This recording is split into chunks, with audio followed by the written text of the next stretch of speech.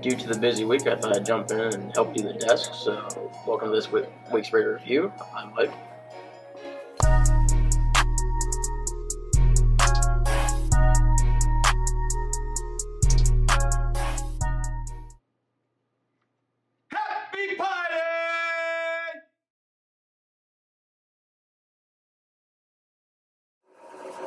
Okay, I'm here with Sage Whipple to talk about the volleyball ring.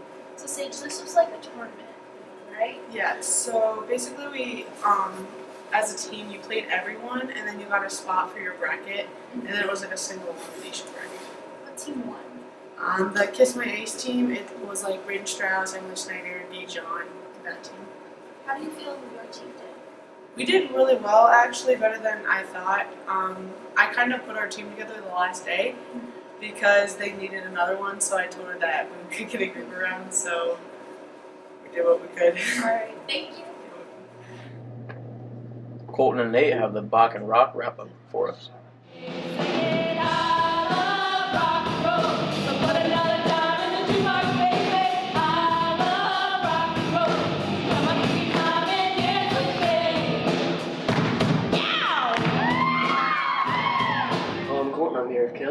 Talk about his performance last night in Bach and Rock. So, Caleb, what song did you perform? Last night I performed an Italian song called Caro Mio Ben with Dylan Ring. It's an Italian love song. Then I performed um, in Bohemian Rhapsody, and I also performed in uh, Another Brick in the Wall Part 2. Alright, so what was it like to perform these songs in front of an audience? It was really fun. Um, I'm used to performing a lot more um, musical theater stuff, and getting to do this kind of rock, uh, this whole rock show was really fun.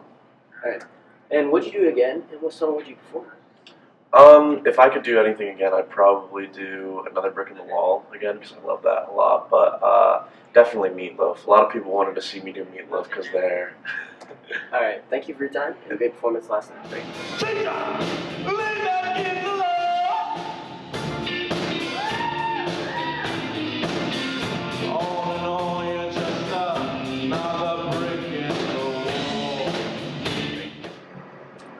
I'm here with Mr. Brown. We're going to talk about his performance in the Bach and Rock.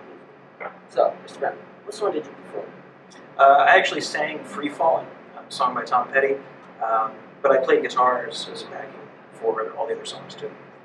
And how was their confident role? I think it went really well. We had a few hiccups here and there, but that kind of stuff happens with live music. Um, but I think the show went really well. People had a good time. I mean, the audience, the band, the singers, I think everybody had a really good time. And what was it like for you to perform that song? Um, you know, it's a little bit nerve wracking thinking about it before you go up to sing, but for me, when I'm singing and in the moment, it's fine. It's just kind of doing what needs to be done, and it's pretty enjoyable. And when it's all over, it's kind of like, wow, uh, okay, I did that. Alright, and would you do something like this again? I would love to. It was a lot of fun. I have no problem doing something like this again. Alright, thank you for your time, and great performance last night. She's a good girl, loves her mama, loves Jesus, and America too. She's a good girl, crazy about Elvis, loves horses, and a boyfriend too. I'm Nate coming forward to talk about Bach and Rock. So, Laura, what songs did you perform? Well, my solo song was Zombie by the Cranberries, and then I did backup for Come Together, Free Falling, and I did a Latin, not Latin, I did an Italian song called uh, O del mio dolce, and that was probably my favorite one. I felt very good about that one. And what was it like performing in front of all these people?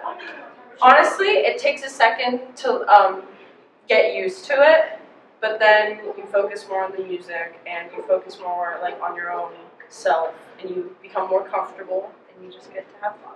So it's nice. And then what song would you perform if you could do this again? I could do it again. I would love to do more of the cranberries, and I'd love to do more of Come Together. I thought those were my favorite songs.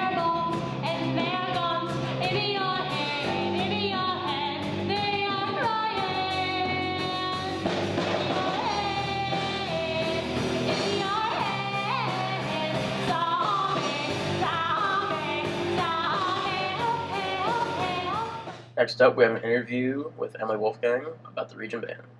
Hi, I'm Brooke, and I'm here with Emily to talk about band regionals. So, what did you place this year? I placed eighth out of 14.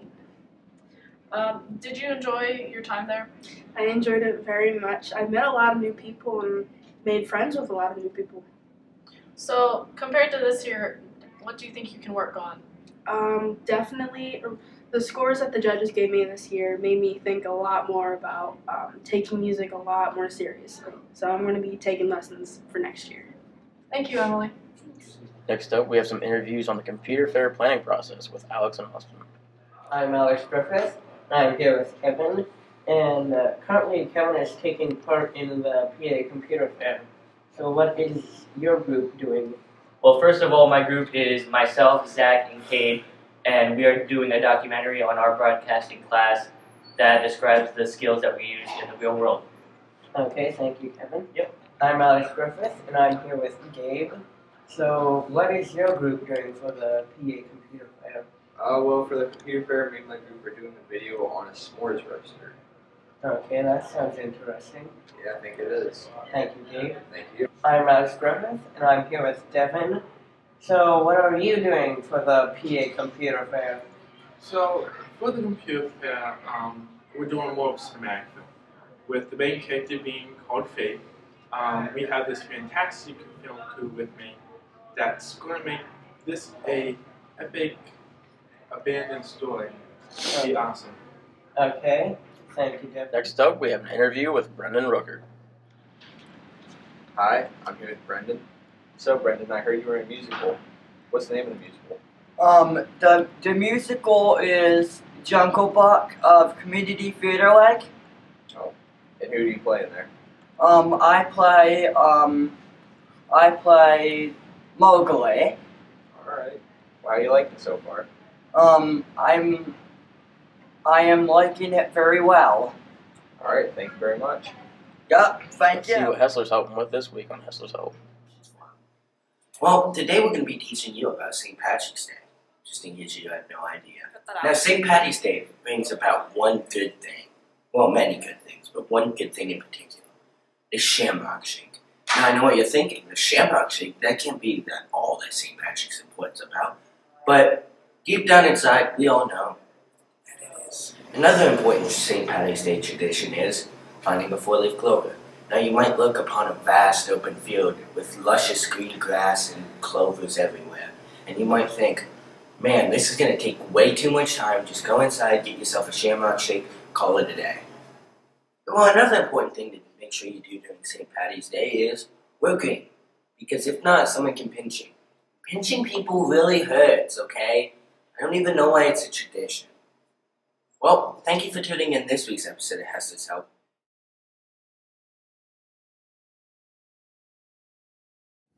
Hello everyone, I'm here with Get Ryan, and recently Get went to junior county band. So in band, Get plays the trombone. So, what was your idea on county band? Like every year that they do it, it's hard on your lips because you're playing so much, but it's fun to meet new people every year and meet old friends that you were friends with before. So, where was this at? This year was at Montoursville High School. And how long does this usually roughly take? The concert normally takes around an hour-ish. In preparation, we have two two-hour practices. Then we have a festival day that we're there all day, and then leading up to the concert, we're there from nine till around lunch when the concert normally starts. So, Get, what's your favorite thing about junior county band? It probably has to be being able to see like people's other styles, like how they play their instruments, and then incorporate it into your own and experimenting more after you see what works well for other people. Well, thanks. Thank you. Thank you for tuning in to this week's Raider Review. I'm Mike, and we'll see you next time.